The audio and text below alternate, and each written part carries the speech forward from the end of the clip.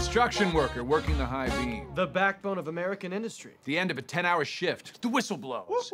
Another day of backbreaking work comes to an end. Cut to the ground floor. The construction worker says goodbye to his buddy. See you guys. As they head off to the local watering hole. But not him. He stays behind. A quiet moment. A moment he's been waiting for all day. He reaches into the ice chest for a well deserved treat. he reaches for A Klondike bar. Simple. Ice cream. Goodness. In conclusion, Klondike is the perfect treat for the working American. And Smith Winter Mitchell is the perfect agency to deliver that message for you.